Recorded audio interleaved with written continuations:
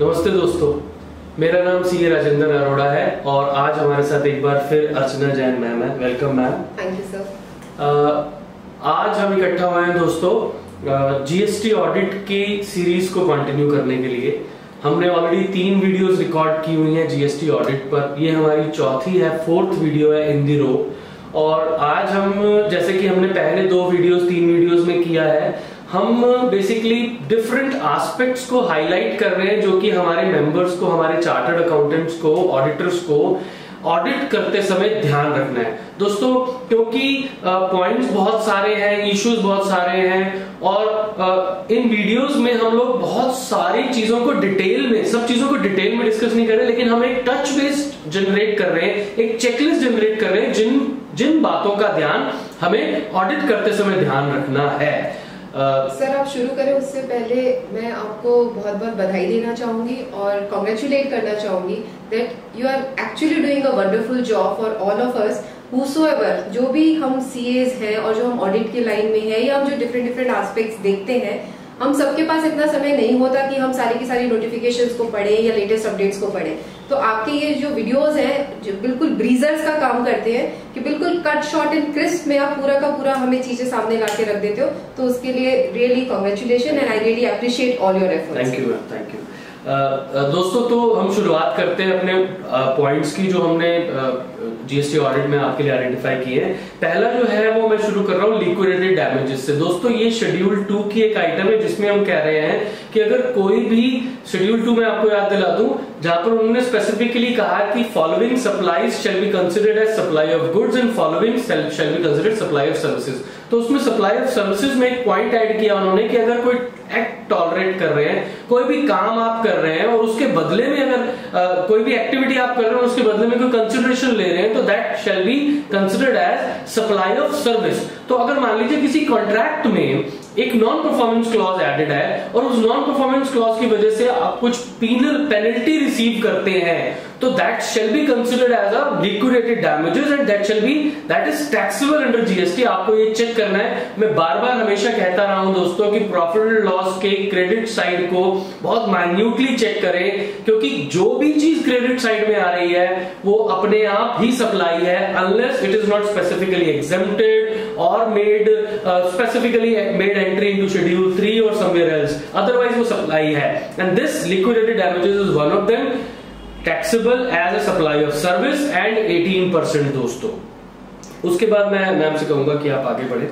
Next point जो बहुत रखने वाला है वो है sale of fix assets fix asset हालाँकि बिज़नेस का एक बहुत अहम हिस्सा है but during the business during the course of business हमारे पास ऐसे हमेशा कोई ना कोई आते हैं जब हम हमारे एसेट्स को सेल करते हैं। तो इसको हम दो चीज़ों में बांटेंगे सेल ऑफ़ फिक्स एसेट आपकी बाकी सारी machinery apart from motor vehicle जब भी आप कोई भी और बाकी फिक्स एसेट्स बेचेंगे तो उनके ऊपर जो उस नई मशीन का या जो उस नए फिक्स एसेट्स का रेट एप्लीकेबल है, वही रेट एप्लीकेबल होगा जीएसटी के अंदर। अब हम बात करते हैं sale of fix assets that means motor vehicle की स्पेसिफिकली मोटर व्हीकल की।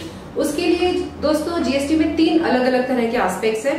वो मोटर व्हीकल जो आपने 1 जुलाई 2017 से पहले खरीदी थी, लेकिन आप उसको 1 जुलाई 2017 से लेके 12 अक्टूबर 2017 तक अगर आप बेचते हैं तो उसके ऊपर जो भी उस नई मोटर व्हीकल का रेट है डिपेंडिंग अपॉन द उसका सीसी वो रेट एप्लीकेबल होगा। उसके बाद 13 अक्टूबर से लेके 13 अक्टूबर 2017 से लेके 24 जनवरी 2018 के बीच में अगर आप उसको बेचते हैं तो एक अमेंडमेंट नोटिफिकेशन आ चुकी थी, जो कहती है 65 percent of the applicable rate यानी जो भी आपका टैक्स रेट है, उसका 65 परसेंट उसके ऊपर एप्लीकेबल होगा, अगर आप उसको इस पीरियड के दौरान बेचते हैं। अगेन एक और नई नोटिफिकेशन आई, जिसमें अब क्या नया अमेंडमेंट आया?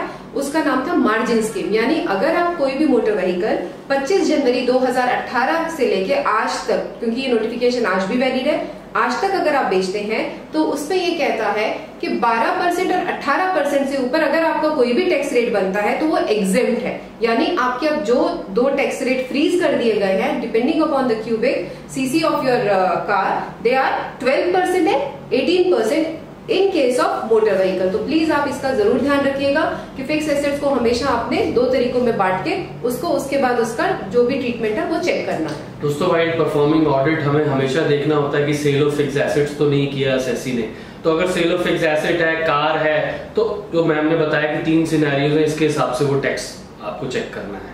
अब हमने सेल कर दी और एक जो सबसे इम्पोर्टेंट एस्पेक्ट है जिसके ऊपर इतनी सारी ह्यू एंड क्राई है ट्रेड के अंदर वो है रिफंड यानी अगर आपने आईटीसी का रिफंड फ़ाइल करा है या अवेल कर रहे हैं और उसको अब आप फ़ाइल करेंगे तो आपको बहुत ध्यान रखना है जुलाई, अगस्त और सितंबर के तीन महीने, क्योंकि उस दौरान higher rate of duty drawback all India rate applicable थे।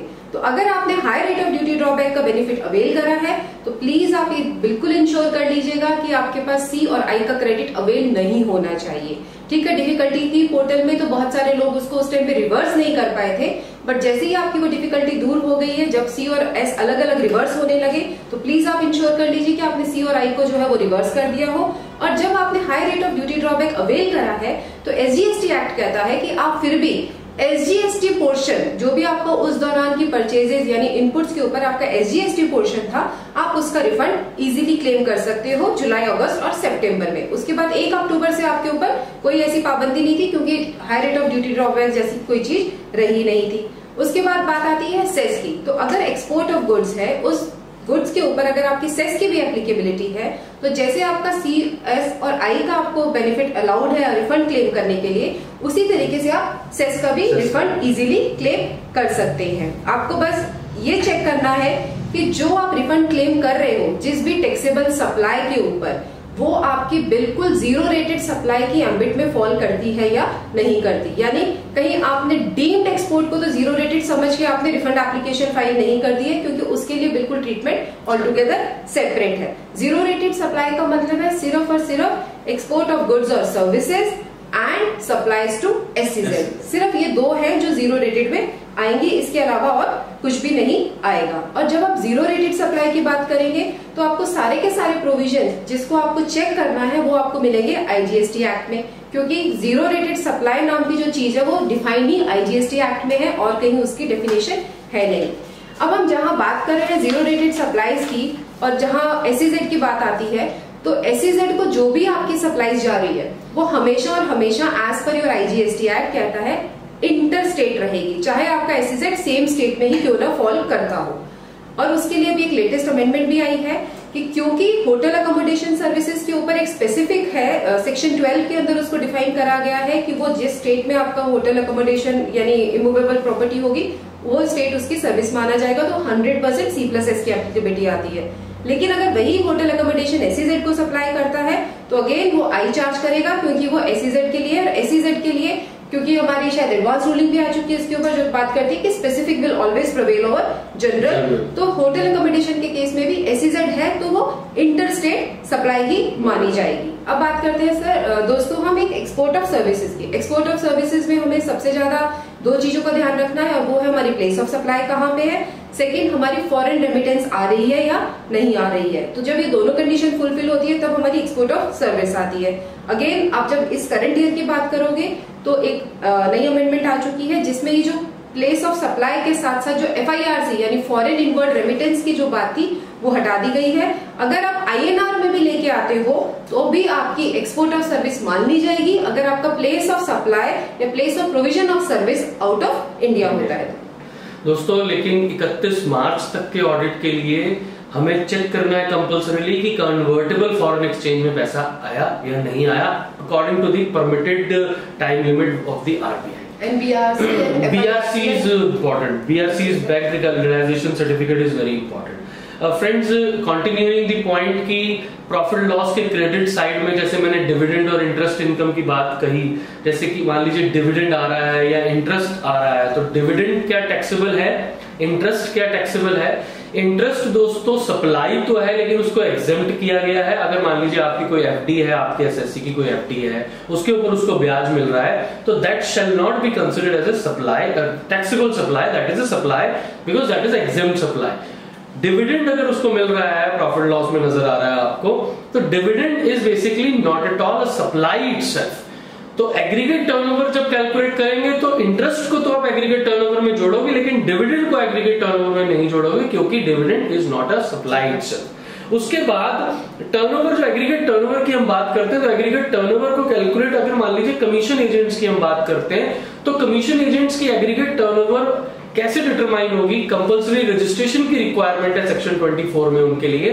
अगर कोई भी commission agent is receiving the goods on behalf of the principal then he has to take compulsory registration under section 24 otherwise turnover जो होगी वो सिर्फ़ aggregate turnover उसकी commission received होगी, जो कि उसको कमीशन मिलती है फॉर अरेंजिंग फैसिलिटेटिंग सप्लाई और sale of goods of the principal इसी तरह अगर मान लीजिए आरतीय की बात करते हैं, कच्चे आरतीय की बात करते हैं हम, पक्के आरतीय की बात करते हैं और अगर वो एग्रीकल्चरिस्ट के गुड्स को मार्केटिंग मार्क मार्केट में बिकवाता है और खुद रिस्क एंड रिवॉर्ड उस तक ट्रांसफ़र नहीं होते गुड्स के जो रिस्क एंड रिवॉर्ड है, वो they continue belonging to the agriculturist in that case he receives only his commission और जो पेमेंट आती है, वो डायरेक्टली एग्रीकल्चरिस्ट को मिलती है देर एंड देन प्रॉम्प्टली तो उस केस में भी उस आरटीए की जो टर्नओवर है, वो सिर्फ़ वो कमीशन पोर्शन ही कंसिडर किया जाएगा। आगे मैम आप बताएँ। अब बात करते हैं अकाउंट्स एंड रिकॉर्ड्स की। बिज़नेस है अकाउंट्स एंड रिकॉर्ड्स तो बनाने ही है। तो जो हम normal due course of business में अकाउंट्स एंड रिकॉर्ड्स बनाते हैं, वो तो बनेंगे ही बनेंगे।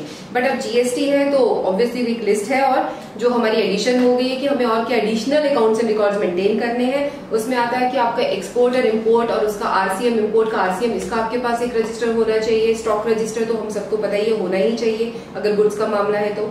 एडवांस अगर आपने रिसीव करा है, उसका भी आपके पास एक मेंटेन करा हुआ होना चाहिए प्रॉपर रिकॉर्ड के अंदर। Tax payable tax payable register आपके पास होना चाहिए। आपके सप्लायर्स की डिटेल होनी चाहिए रिसिपियंट्स की डिटेल होनी चाहिए गोडाउन की डिटेल्स होनी चाहिए एडिशनल प्लेस ऑफ़ बिज़नेस की डिटेल्स होनी चाहिए, जहाँ पे भी आप अपने गुड्स को स्टोर करते हैं।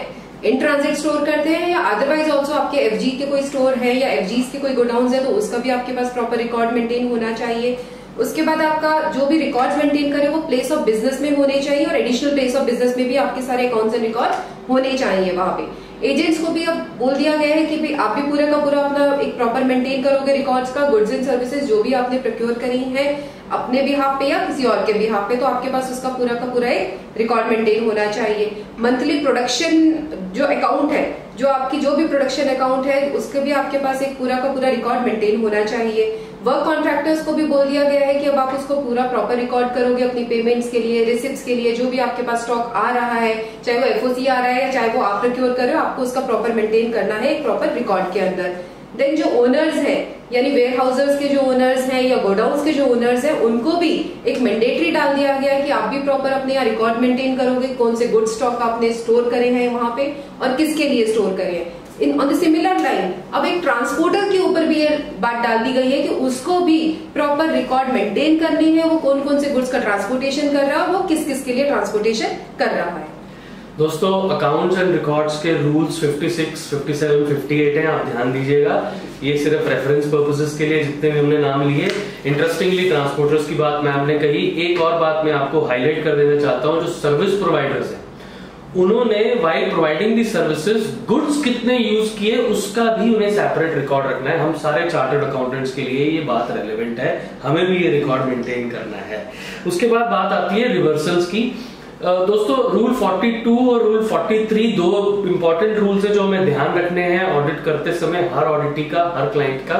क्योंकि यहाँ पर सेक्शन 18 का रेफरेंस मैं देना चाहूँगा। जब हम बिज़नेस और नॉन बिज़नेस दोनों पर्पसेस के लिए आईटीसी यूज़ करते हैं हम बिज़नेस हम टैक्सेबल सप्लाईज भी करते हैं एग्ज़ाम सप्लाईज भी करते हैं तो उस केस में रूल 42 में बहुत डिटेल में एक प्रोसेस है डिटेल है थोड़ा लंबा है लेकिन मुश्किल नहीं है, दोस्तों, एक बार आप पढ़ेंगे तो बहुत आसानी से समझ जाएँगे it is a mathematical calculation simple calculation तो आपको लेकिन हर केस में रूल 42 अप्लाई करना है, क्योंकि कुछ कॉमन क्रेडिट्स भले ही आप नॉन बिज़नेस एक्टिविटीज़ के लिए यूज़ नहीं कर रहे हैं भले ही आप एग्ज़ाम सप्लाईज नहीं है, आपकी 100 परसेंट एक्सेबल सप्लाईज है, फिर भी आपको कुछ कॉमन क्रेडिट को कंपल्सरली पाँच percent of that common credit shall be required to be compulsorily reverse friends तो आपको ध्यान रखना है रूल 43 में कैपिटल गुड्स की रिवर्सल है, और एक रिवर्सल और है दोस्तों, और वो है 180 दिन की पेमेंट की रिवर्सल अगर आपने value of supply plus tax as recipient supplier को 180 दिन में value of supply plus tax दोनों पे नहीं किया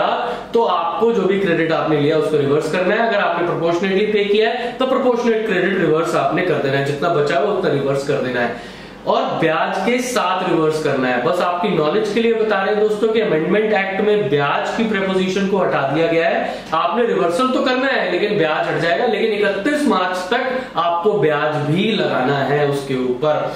आखिरी जो बात है टीडीएस टीसीएस के प्रोविज़न है दोस्तों, वो अभी तक अबेंज में है तो उनको चेक करने की या ध्यान रखने की अभी फ़िलहाल कोई ज़रूरत नहीं है। दोस्तों, फ़िलहाल आज के वीडियो में इतना ही।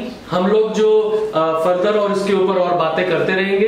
अर्चना मैम का थैंक यू और आपका भी बहुत बहुत धन्यवाद इस वीडियो को देखने के लिए। प्लीज़ हमारा यूट्यूब चैनल सब्सक्राइब कीजिए। Thank you very much friends thank you friends